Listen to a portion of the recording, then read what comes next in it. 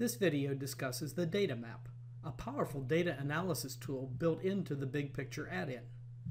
You are probably familiar with Excel's pivot tables for summarizing and breaking down data by categories. A data map is similar, but it is more graphical. It also has the ability to break down data by categories and summarize numeric data in these categories, but it displays the results graphically in a map. To illustrate data maps, I will use a Major League Baseball dataset that contains the results of all 2014 games through August 20th, the time when this video was made. Actually, by the time you see this dataset, it will have the results for the full 2014 season. There are three worksheets in the file. The first, the one you see here, lists the 30 teams, their leagues and divisions, their total runs scored, wins, losses, games played, and winning percentages, their locations, and two sets of hyperlinks to information about the teams. The second worksheet is used for data entry. It has a row for each game played. However, the data in this sheet aren't convenient for data maps that break down results by team because each row lists both teams in the game. Therefore, a fairly simple macro was written to transform the data in the second sheet to the third sheet, where there now is one row for each team in each game. That is, the third sheet contains a pair of rows for each game. I will discuss other parts of this third sheet shortly. I will now illustrate how to generate two data maps, the first fairly simple, and the second slightly more complex. The first data map is based on the small data set in the first worksheet.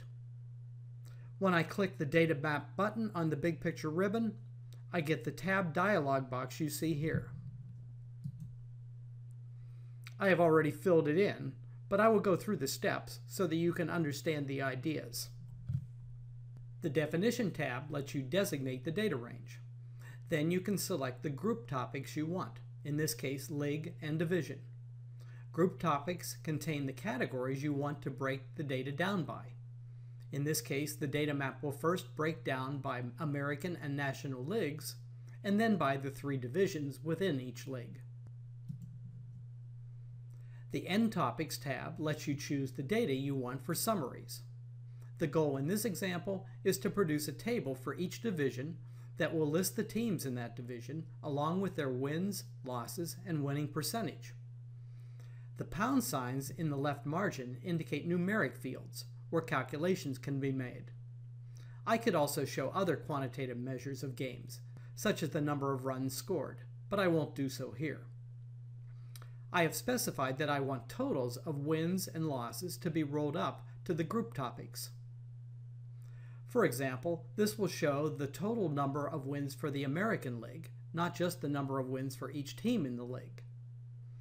It doesn't really make sense to roll up the winning percentage unless each team has played the same number of games, so I haven't checked that option.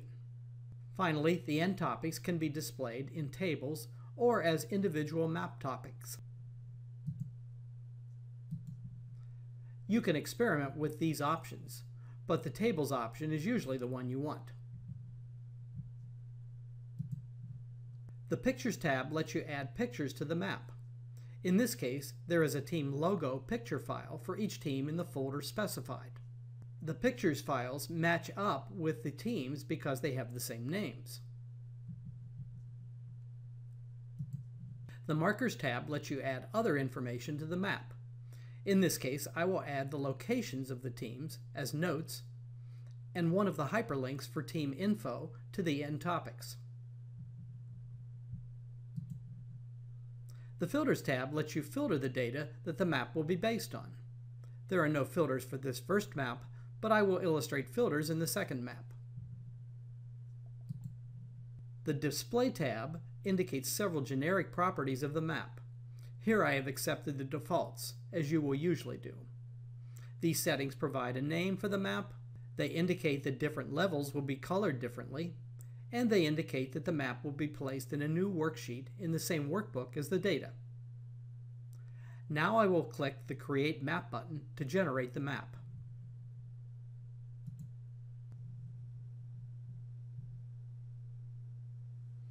you see the root topic, which summarizes all games. Of course, every game has a winner and a loser, so the total wins must equal the total losses. Next, you see the wins and losses broken down by league. I will expand the American League to see wins and losses broken down by the three divisions in this league. Finally, I will expand any division to see the requested table of end topics, with a row for each team in that division. You can see the team logos, wins, losses, and winning percentages, team locations, and clickable hyperlinks.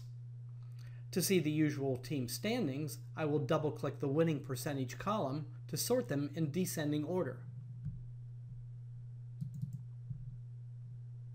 If I double-clicked again, they would appear in ascending order. Now I can expand any of the other topics to see information on their teams.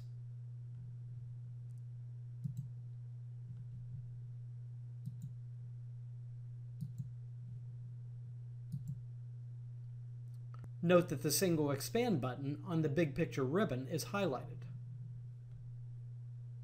This indicates that when one topic is expanded, the others are collapsed.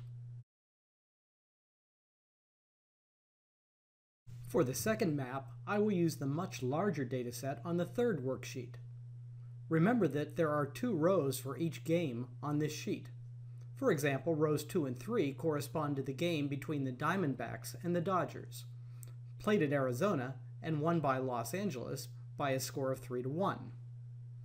I have set up filter conditions in columns L and M so that a variety of maps can be generated. For example, they are currently set so that only the games through the end of July are analyzed, and the common opponent in all of these is the New York Yankees. The role setting means that both home and away games against the Yankees will be shown. These filter conditions are used to calculate the 0-1 filter variable in column J.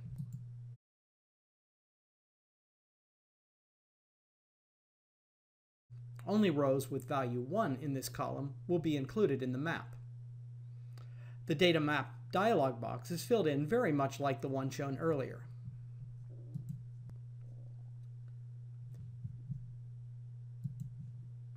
In the End Topics tab, note that Team refers to the team in column B. The filter condition implies that a given row will be included in the map only if the team in column I, that is, the opponent of the team in column B, is the Yankees. Note that I have included runs as an end topic it would make sense to check its roll-up box, but for variety I haven't done so here. There are only two other changes. First, there are no markers, although there could be, and second, there is now a filter. Only rows where the filter column, column J, is 1 will be analyzed. Now I will create the map. It takes a bit longer because it needs to process several thousand rows.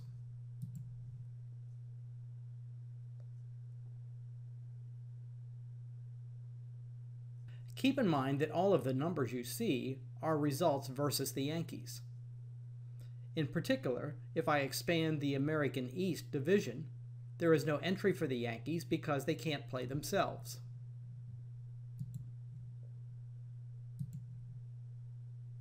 Also, note that many of the teams in the National League hadn't yet played the Yankees by late August, so some topics are missing altogether.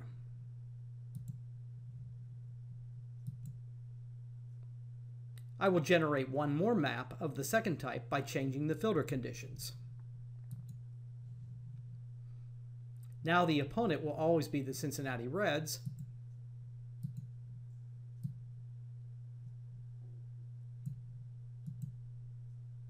and it will be for all games played so far, that is through August 20th.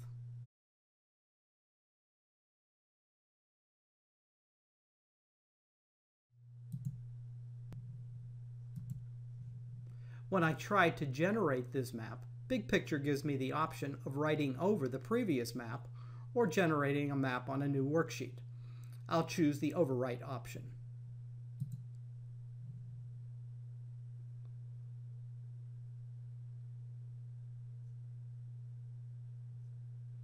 Now you can see how everyone has fared against Cincinnati.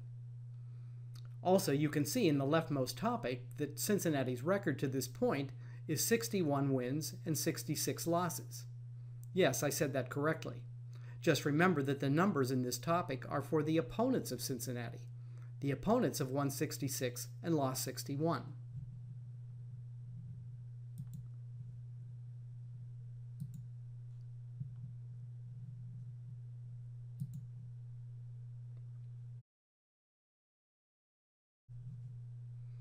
In summary, BigPicture's data maps provide an alternative to pivot tables for breaking down and summarizing data.